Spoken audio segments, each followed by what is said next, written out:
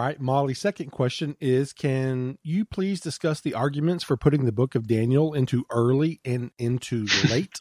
yeah, this this is this is a long and convoluted subject. Um, I would, you know, I'll I'll just start off. Let, let's just talk about why why the debate is even a debate. In other words, how how it originated.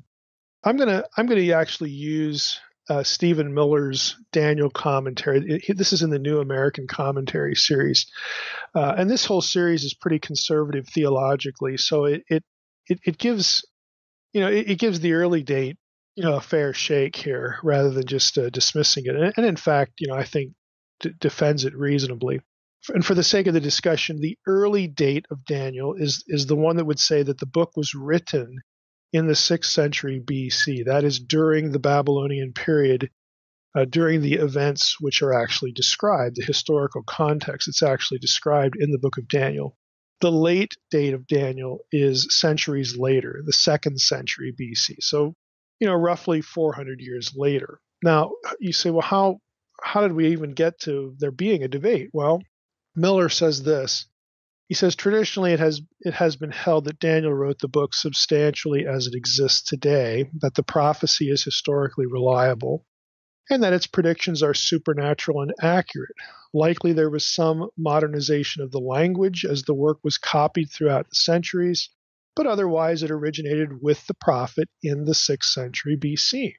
In modern times, many scholars have maintained that the book in its present form was produced, and that's a, an important word, composed, produced, by an anonymous Jew during the second century BC, writing under the pseudonym Daniel, and that it consists of non historical accounts and pseudo prophecies. The purpose of the work in this scenario was to encourage Jewish believers in their struggle against the tyrant Antiochus IV, also known as Antiochus Epiphanes, who lived from 175 to 163 BC. In other words, during the Maccabean period in Jewish history between the Testaments.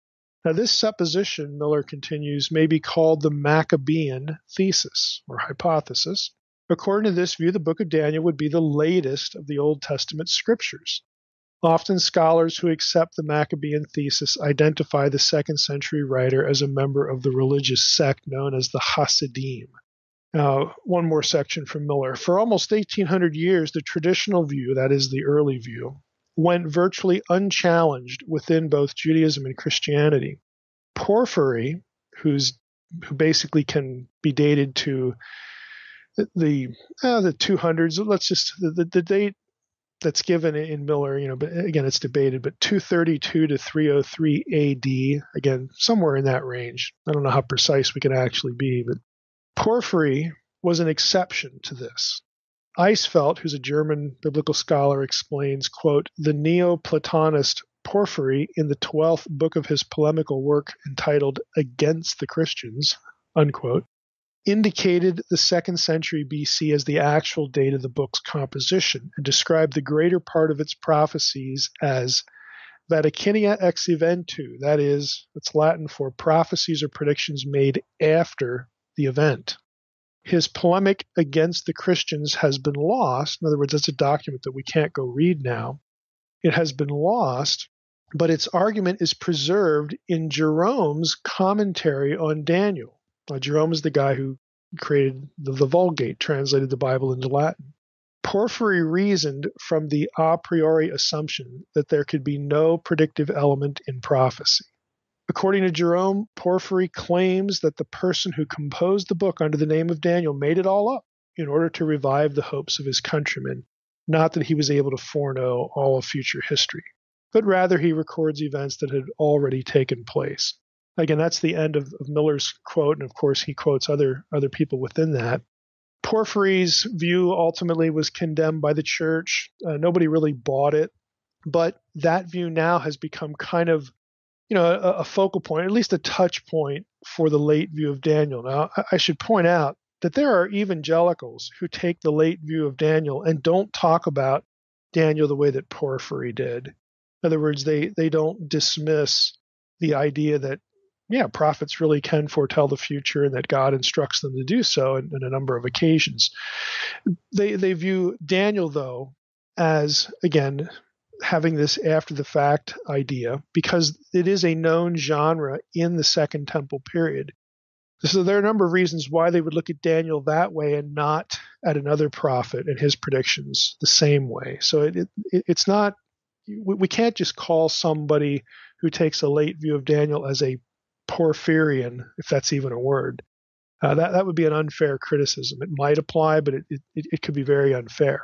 So having said said that, let's just summarize again some of the issues. I think this is really what the, the question was after. So a late date argument would be made uh, as follows. It's not simply about rejecting the idea of predictive prophecy. Scholars who accept the idea that God can reveal the future to people, but who still take a late uh, late date view of Daniel would ar- would argue the point on the basis of the, of the following ideas. Number one, much of Daniel 9 through 11 does in fact fit the Maccabean period pretty closely, in fact. Only later material in Daniel, roughly from Daniel 1136 onward, doesn't really jive well with historical events in the Maccabean period. Uh, most late date advocates would say Daniel made errors here, but evangelicals who take the late date would speculate that, well, after verse 36, we have some predictive prophecy going on. Most evangelicals who would take the late date of, of Daniel would, would be more generous than critics who'd say, well, Daniel just screwed it up after verse 36.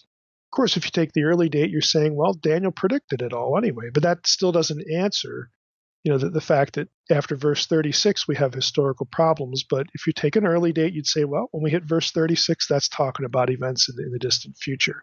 So late date evangelicals, many of them, I would say, to be fair, most of them, would say the same thing once you hit verse 36. So that, that was item number one. Item number two, uh, you can argue the late date based on the fact that there are features of late Aramaic in the book of Daniel. Now, Aramaic's like any other language, like English, it goes through stages. Those stages are discernible.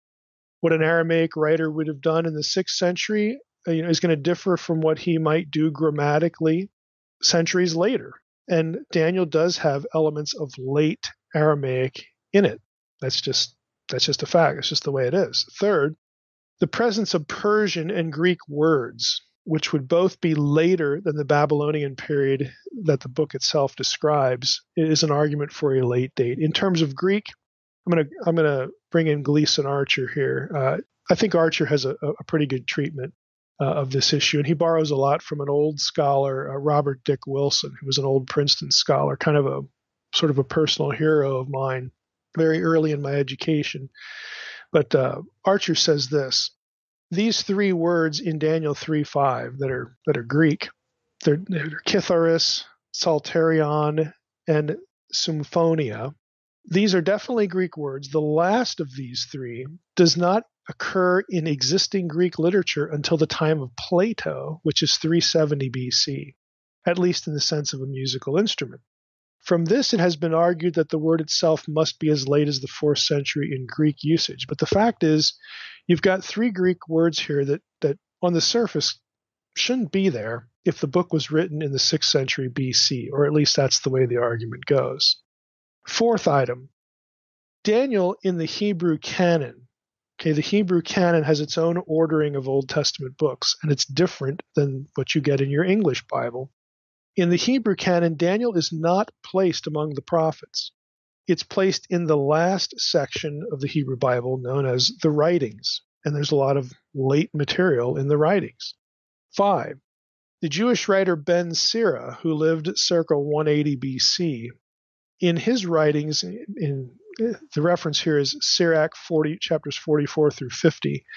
He's listing significant Israelite or biblical characters in these chapters, and he fails to mention Daniel, although he does mention Isaiah, Jeremiah, Ezekiel, and collectively the 12 minor prophets. So, some reason from that that Ben Sira didn't know Daniel because Daniel didn't exist yet as a book. Sixth, scholars often fo- fixate on the word Chaldean which they say is is is late and again shouldn't be there if Daniel was written in the sixth century. And then lastly, the seventh sort of trajectory here is that Daniel is very obviously in the apocalyptic literature literature genre, which if you're just sort of counting genre noses, in other words, the number of ancient books that have apocalyptic features, and you say, what are apocalyptic features? You have angels coming and, and talking to people specifically about the future. You've got sort of cosmic imagery about heaven and hell in the future, you know, impending disaster, the ultimate afterlife, day of the Lord kind of stuff. But again, associated with angels specifically, and and again the, the way they, they come and dispense messages those, those are sort of classic stock elements of apocalyptic literature think of the book of revelation most of the content of revelation is mediated through angels okay so that kind of literature if you're just counting the number of books that, that would sort of have those features as opposed to the ones who don't overwhelmingly i mean overwhelmingly that kind of literature is dated from the, the third century BC onward. So it would be late. So that, that's how you would argue a late date for the book of Daniel, regardless of, of the prophecy issue. Now, what about an early date? How would the early date argue its position and defend itself among, you know, against some of these other things? Well, here's how it would be done. Events in the book are set in the 6th century BC, and they're very consistent with known historical figures Nebuchadnezzar, Belshazzar, and also events, the exile of the Jews to Babylon. In fact, the book gives us a date, you know, that about the exile, and so that's when the book is set, and there's no reason to think that it shouldn't be, you know, situated in terms of its composition in that period. Uh, so you have that. Daniel 1 1 again gives you an exact date, so why why not just accept that? Number three, Daniel also has features of early Aramaic. Yes, it does have features of late Aramaic. but it also has clear features of early Aramaic. Now, late daters would say, well, that's because the guy who was writing late wanted to give the book the feel of antiquity. So he's living after the fact, and he would just sort of throw in some of this late grammatical stuff to give the reader of, of the original language, again, this, this feel of antiquity for the book. And that, that's how they would counteract that. But the, the fact of the matter is, in terms of its Aramaic portions, you have features of both early and late Aramaic in there. Number four, they would say, well, in regard to Ben Sira's list, yeah, it's a long list. I mean, it spans five or six chapters, but it is still selective if you actually read it. In other words, Ben Sira doesn't mention everybody he could mention in terms of a noble biblical character in those chapters. So it's not a big deal that Daniel's not there. He just got skipped for whatever reason. Fifth, Daniel's placement in the canon you know, in the late portion, in the portion of the writings and not the prophets, the early date would say, early daters would say that's due to his primary role of a government administrator in Babylon and not as a classical prophet like the other guys. So they would say, look, the fact that it's placed in the writings just sort of situates it historically because the other stuff in the writings, a lot of it, you know, can certainly has this sort of orientation, Babylonian, Persian Empire kind of stuff. Uh, if, if, you're familiar with the writings, you know maybe some of your favorite books, you know, are going to be in there, like Job, and you've always heard that Job is early. Well, that you know that that's one of those things we we could do an episode on on that alone. Uh, but there's no guarantee that Job was early. Job has a lot of features of of late Hebrew. Again, Hebrew's like Aramaic, like English. There's clear stages in the language there's nothing that necessitates Job being an early book, even though everybody's always taught that. Well, there's no reference to the covenants or the law. Well, maybe they're just not part of the storyline. I mean, that's not a really good argument. Uh, well, they're, they're doing patriarchal stuff. Yeah, well, Job, again, is from the land of Uz, which isn't in Canaan. I mean, this is a Transjordanian situation. So why would we think that they're doing theocratic stuff associated with Moses and the temple? They don't live there again, there, there's no reason specifically that you have to take Job early. So if you look at the at the collection of the writings, the late stuff, you're going to say, well, this this order doesn't make any sense. This other stuff isn't late. Well, again, it, it, it may be, but early daters would say, well, Daniel winds up there because of you know what the book describes, its setting and his role as an administrator in Babylon, and not as a classical prophet in you know the promised land proper, like the other prophets were. So again, that, that's the counter argument. Number six, uh, Herodotus. This is this is in regard to the the term Chaldean. Uh, Herodotus, writing in 450 BC, uses Chaldean as a term. You say, well, that's still later than the sixth century. It is, But there are Assyrian records that go well before the Babylonian period that mention the Kaldu, okay, in cuneiform inscriptions. And the, the Kaldu uh, were, were, again, prominent officials uh, in, in the bureaucracy. So R.K. Harrison's introduction to the Old Testament points that out. Robert Dick Wilson pointed it out uh, in his work at, at, the turn of the century, uh, turn of the 20th century. Um, again, it, the Chaldean argument really isn't that good of an argument for a, a late date, but you'll still see it. Seventh, what about what about those Greek words? Well, I'll, I'll just I'll reference you to Archer here again, a little little paragraph. Archer writes, we now possess less than one tenth of the significant Greek literature of the classical period, and so we lack sufficient data for timing the precise origin of any particular word or usage in the development of the Greek vocabulary. I think that's a fair point. It should carefully be observed that these three words, again, that, that are in Daniel, are names of musical instruments, and that such names have always circulated beyond national boundaries as the instrument themselves, instruments themselves have become available to the foreign market.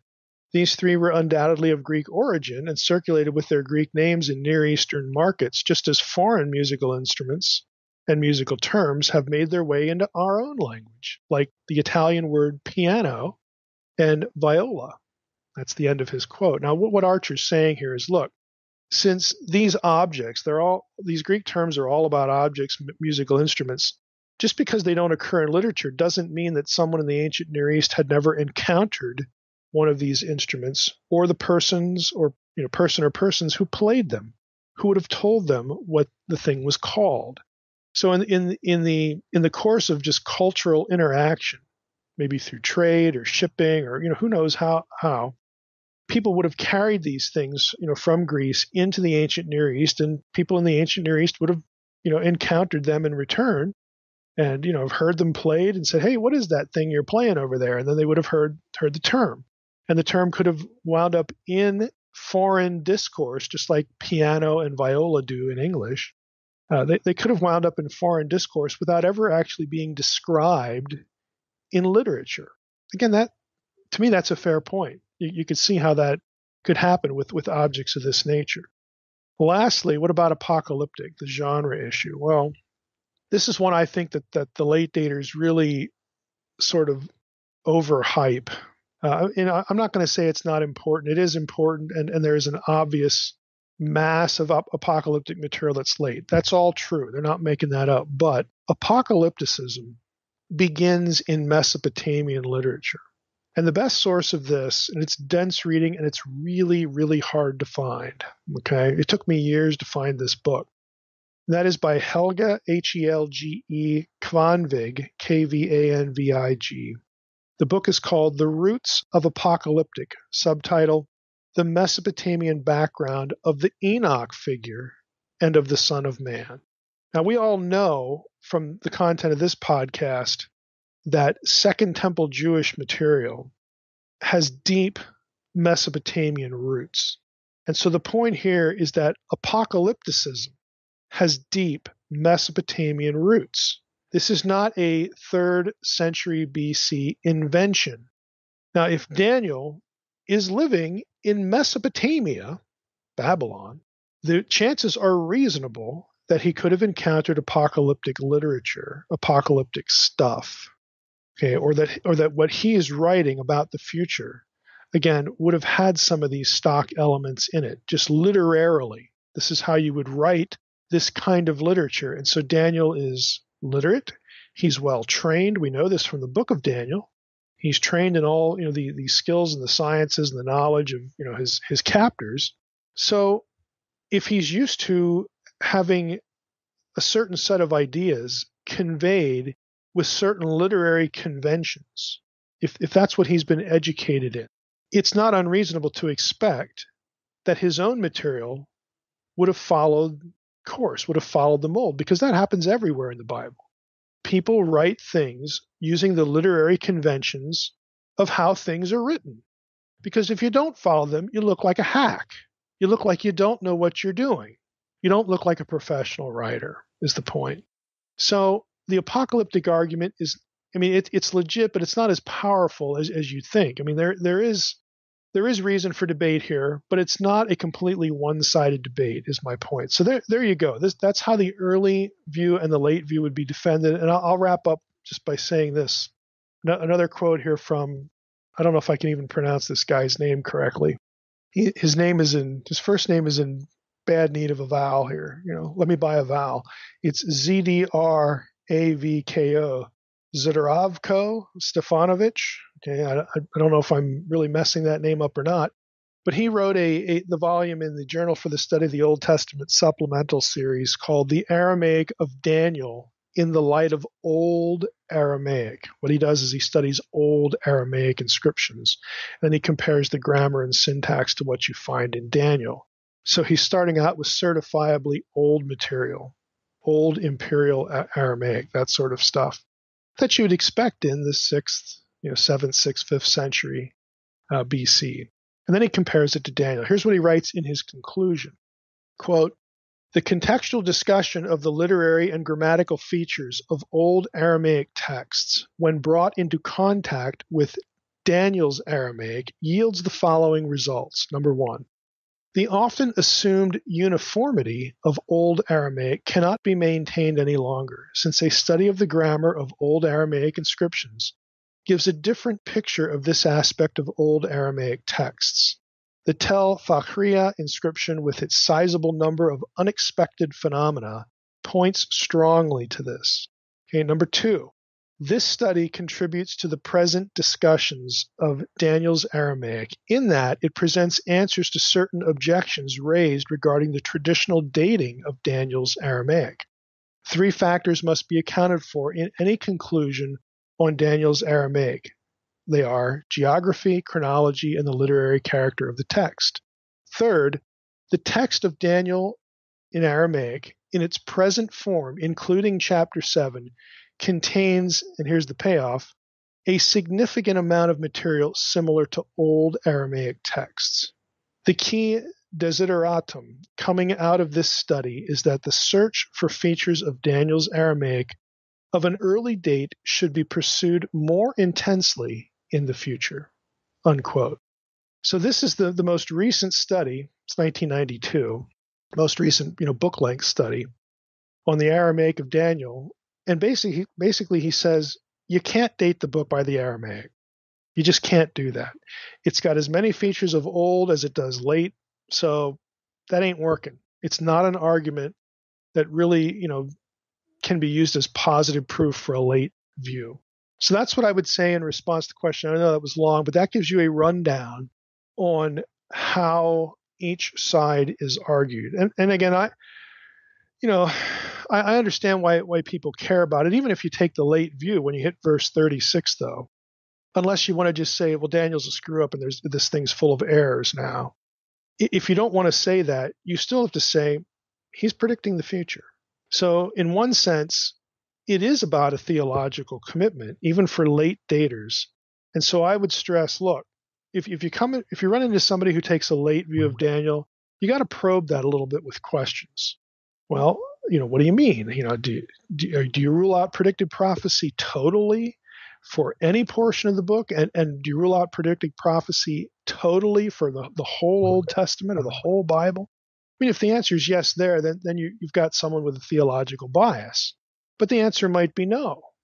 Okay, and so then, you know, you, you have a different discussion on your hands. So we'll just leave it there.